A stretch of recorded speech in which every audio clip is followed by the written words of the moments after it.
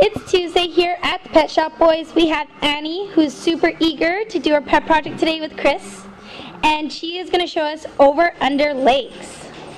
Annie, over Yes. Yes. Good girl, Annie. Good job.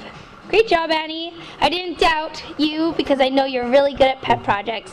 Bye, guys. Great job.